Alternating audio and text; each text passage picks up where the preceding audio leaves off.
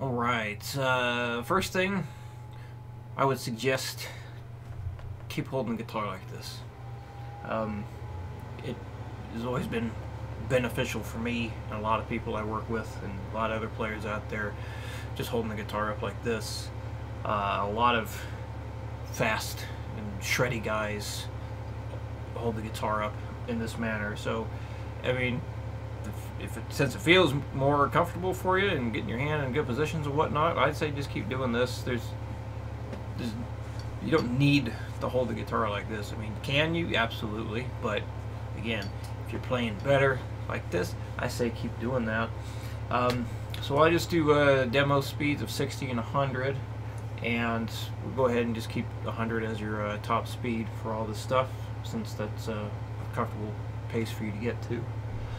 Um, yeah, so let's get cracking here.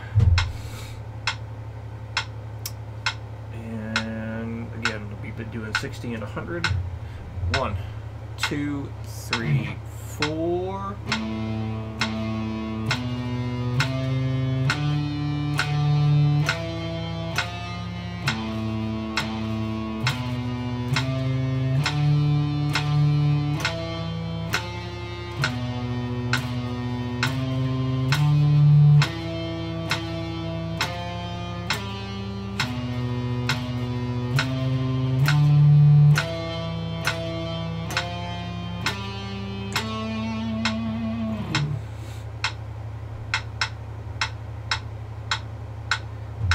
Just thinking so bare minimum speeds I'd like you to do for all these is going up by 10 so 60 70 80 90 100 bare minimum. Um, so this way you're getting nice work done at the slow speed and then in between the top speed you're working at. Because there's a lot that can be missed playing wise. Those subtle things that can happen if you only practice a slow speed and a fast speed because sometimes it feel it could actually feel weird or more difficult in the middle speeds uh, for certain things. So just want to make sure you're getting a good amount of practice in with the varying speeds.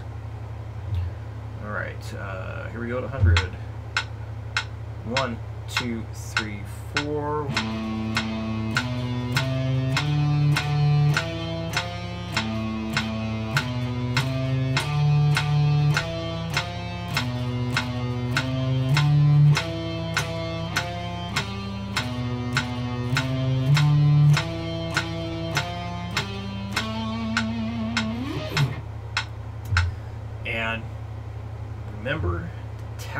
Foot when you play.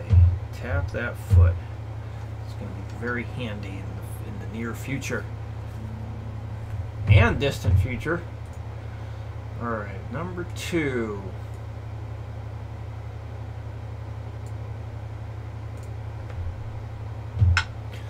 One, two, three, four.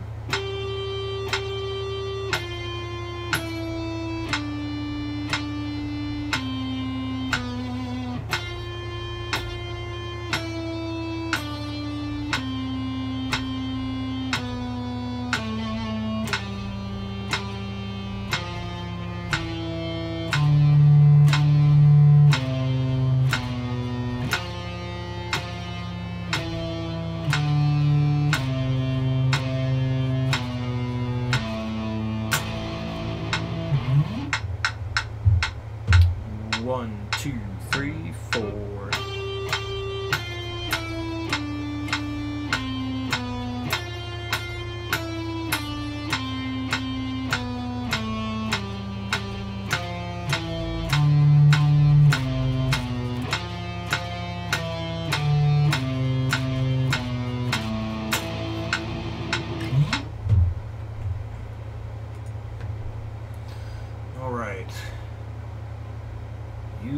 thumb to mute the low E string throughout the entire chord progression here.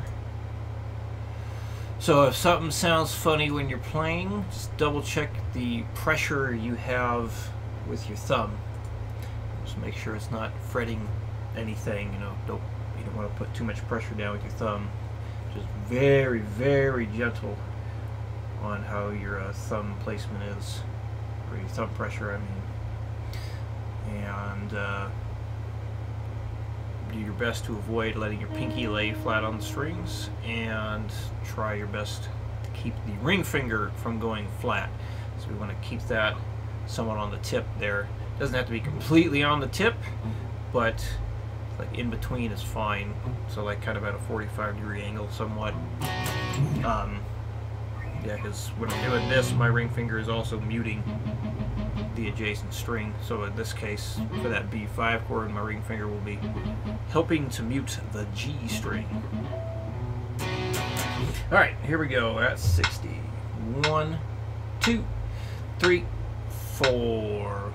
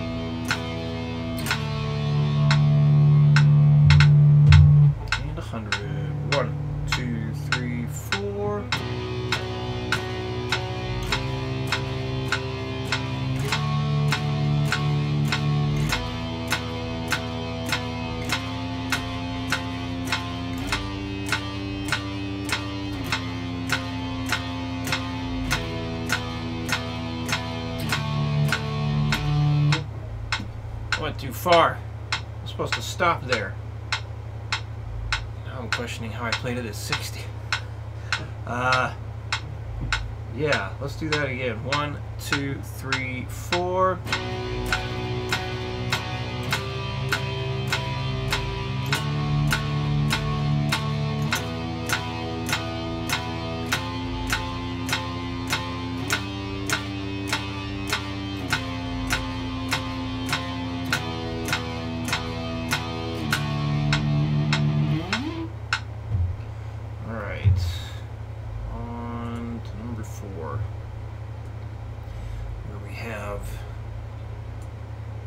Little bit of string changing. One, two, three, four.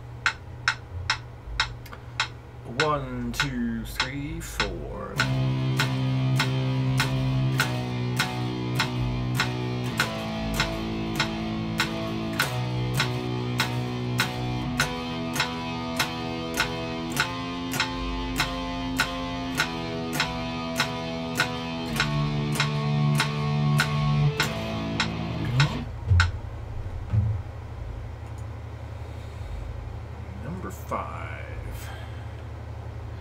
So for the open A5 chords, keep using your index finger to fret the D string. One, two, three, four.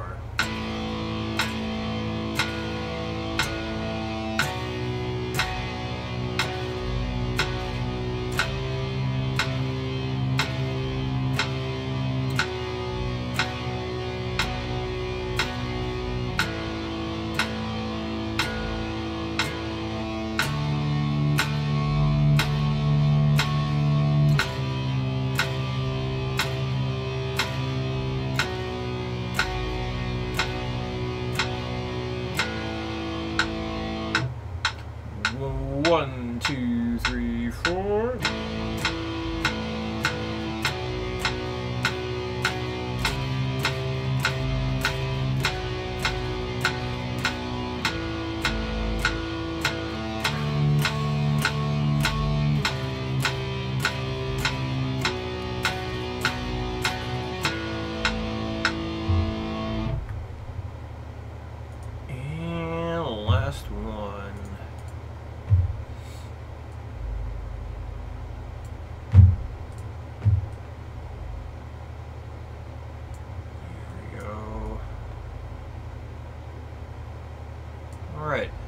Um,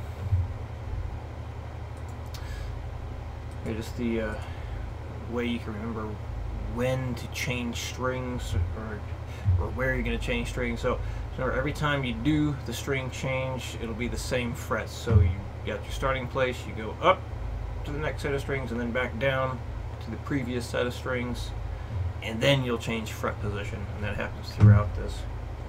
So here we go.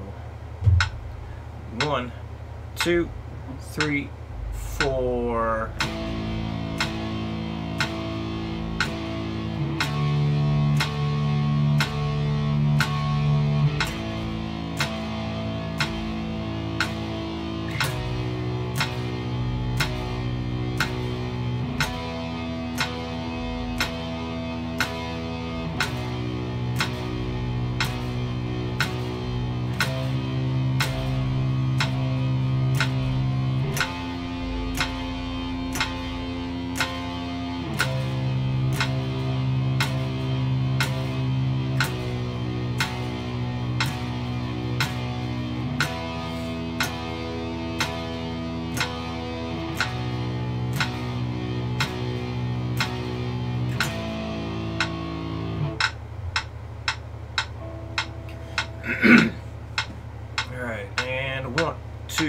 Three, four.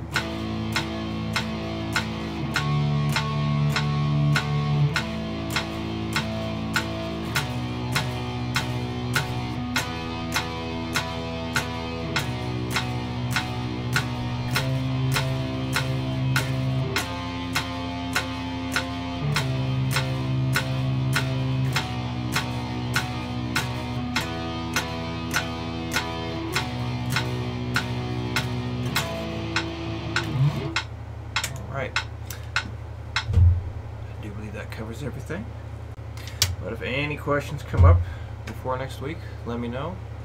And good luck. See you next time.